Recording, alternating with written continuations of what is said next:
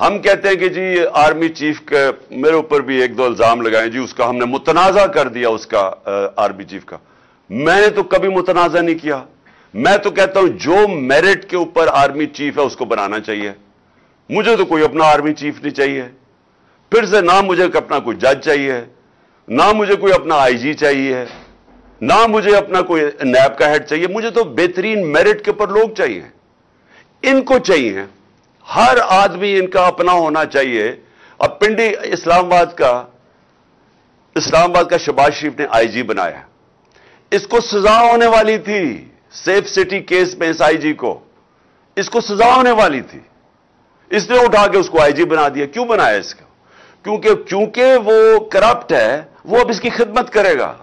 वो इसका हर नाजायज काम करेगा। इसलिए इस तरह मुल्क तबाह होते हैं।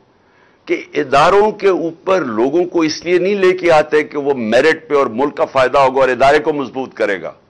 उनको इसलिए लेके आते हैं कि ये इनके गलत काम करेंगे। और यही इन्होंने करवाया आज तक। अदलिया के अंदर इन्होंने डंडे मार के जब चीफ जस्टिस सुजाद अली शाह जैसा दयानतदार जज को जब भगाया वहाँ से और फिर पैसे, रिश्वत दे के उसको जब हटाया तो ये इसलिए नहीं कि इनको कोई फ़िक्र थी कि पाकिस्तान की अदलिया ठीक काम नहीं कर रही। इसलिए कि वो इनके नीचे नहीं थी, इनकी गुलामी नहीं कर रही थी, इनके गलत कामों के ऊपर गुलाफ नहीं डाल रही थी, छुपा नहीं रही थी।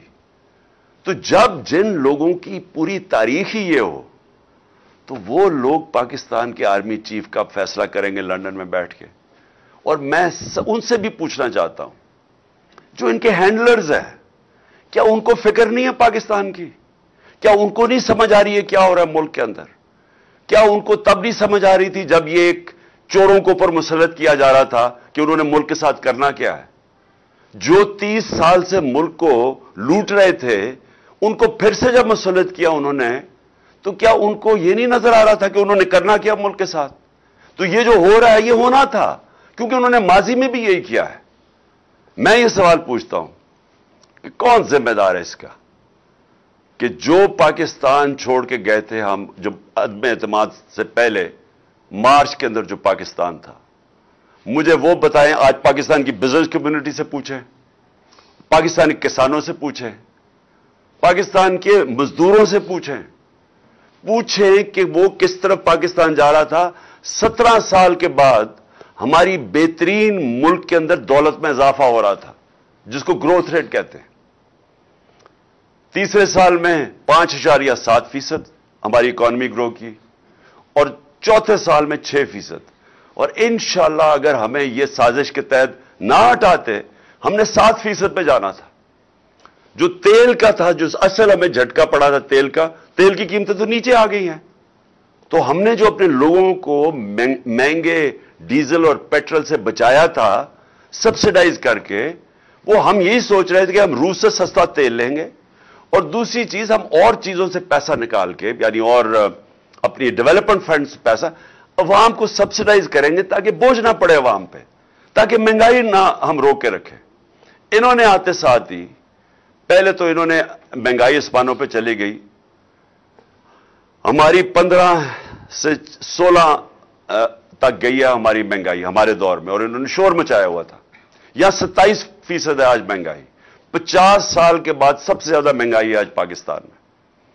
और इन्होंने, इनकी वजह से, क्योंकि ये इकोनॉमी नहीं हैंडल कर सके, आज रुपया इनके दौर में तकरीबन उनतालीस रुपया गिरा है उनचास उनचास रुपया डॉलर महँगा हुआ है। इनके दौर के अंदर आज पेट्रोल, डीजल की कीमतें किधर हैं? हमारे दौर में किधर थी? इनके दौर में बिजली की कीमत आज किधर गई है जो आज लोगों से पूछे कि जो उनको बिजली के बिल आ रहे हैं? अभी जो गैस की शॉर्टेज आने वाली है और जो गैस की कीमतें हैं, ये सर्दियों में, इनके दौर में आज देखना आप किधर आ रही हैं जो इन्होंने आईएमएफ से मान चुके हैं। तो मैं सवाल यह है कि हम, हमारे दौर में भी आईएमएफ था। हमारे दौर में भी कोरोना की वजह से महँगाई थी, आलमी महँगाई थी। लेकिन वो दौर देख ले, मार्च का और ये आज देख लें। छह महीने में ये मुल्क किधर पहुँचा है? आज वो मोटरसाइकिल मैन्युफैक्चरर से पूछ ले कि उनका क्या हाल हुआ है। आज वो मोटर वाले कितनी कारें बिक रही हैं, वो आज देख ले क्या हाल हुआ है। इंडस्ट्री जो तारीखी, हमारे सालों के बाद हमारी इंडस्ट्री तेज़ी से ऊपर जा रही तकरीबन 26 फ़ीसद। वो आज ज़ीरो पे पहुँच गई है। इसके अलावा इसकी वजह से बेरोजगारी बढ़ेगी। फैसलाबाद में आठ लाख लोग बेरोजगार हो चुके हैं। वही फैसलाबाद जिधर मजदूर नहीं मिल रहा था मार्च के अंदर। तो मैं सवाल ये पूछता हूँ कि ये क्या, ये जो हैंडलर्स लेके आए हैं और ये जो आज तमाशे हो रहे हैं पाकिस्तान से, कौन जिम्मेदार है इसका? किसने जवाब देना है इसका? कौन बताएगा कि ये कौम को किधर से किधर ले गए हैं? आज पाकिस्तान के पास जो दौलत में इजाफा हो रहा था, वो हो ही नहीं रहा। ग्रोथ रेट का मतलब कि दौलत में इजाफा होता है। जब ग्रोथ रेट नीचे आता है और ये आप ये सोच रहे हैं कि अब ये पहुँच जाएगा छह फ़ीसद जो हमारे दौर से, अब ये पहुँच जाएगा तकरीबन एक फ़ीसद से भी कम। जब दौलत के अंदर इजाफा कम होगा तो इससे इससे क्या होगा? इससे यह होगा कि हमने कर्जे तो देने हैं, कर्जे लिए हुए हैं, कर्जों की किस्तें वापस करनी है। तो जब हमारी दौलत में इजाफा ही नहीं हो रहा तो कर्जों की किस्तें कैसे वापस करेंगे? किधर से पैसा आएगा? आज यह हाल हो गया है कि हमें कर्जे लेने पड़ते हैं, कर्जों की किस्तें वापस करने पे। तो कर्जों में डूबता जा रहा है मुल्क। और जो दौलत बढ़ रही थी, वो अब बढ़ नहीं रही। दौलत के अंदर इजाफा होगा तो कर्जे वापस करेंगे। वो तो अब नीचे जा रहा है। हमारी टैक्स कलेक्शन नीचे जा रही है। हमारी एक्सपोर्ट्स नीचे जा रही हैं। जो बैरून मुल्क पाकिस्तानी रेमिटेंसेस भेजते थे, वो नीचे जा रही हैं। तो इस दौलत नीचे जा रही है मुल्क की। तो ये किसने? कौन जिम्मेदार है इसका कि इन चोरों को हमारे ऊपर मुसलत किया? ये कौन सवाल पूछेगी। तारीख ये चीज़ नोट कर रही है कि ये जो हुआ है इस मुल्क के साथ कौन कौन लोग जिम्मेदार हैं इसके? और ये जो समझते हैं कि लोगों के मुँह बंद करके, लोगों के सहाफियों को जो अरशद शरीफ से किया है, जो इस वक्त कौम शौक में है कि जो अरशद अरशद शरीफ से किया गया है। कौम सवाल पूछ रही है कि क्या यह तरीका मुल्क को चलाने का पहले इन चोरों को लेके आओ? उसके बाद लोगों को कहो, हजम करो ये, क्योंकि हमने फैसला कर लिया, अब ये आपके ऊपर बैठेंगे।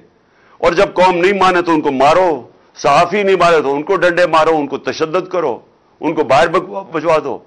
और ये जो कत्ल करवा दो, जो जो अरशद शरीफ से किया है, फिर आज़म स्वाति जैसे लोग, जो उससे किया इन्होंने कि उसने कोई तनकीद कर दी कौन सी उसने इतनी बड़ी क्यामत थी कि उसको नंगा करके, बच्चों के सामने पहले मारो, फिर नंगा करके तशद करो? और फिर जो वीडियो दी है, यानी इससे तो कोई सारी आज कौम दंग है कि कोई इतना भी नीचे गिर सकता है कि किसी को ब्लैकमेल करने के लिए आप मियाँ बीवी की वीडियो डाल दें। यहाँ हम गिर गए हैं सिर्फ़ इसलिए कि आप चाहते हैं हम इन चोरों को तस्लीम कर लें।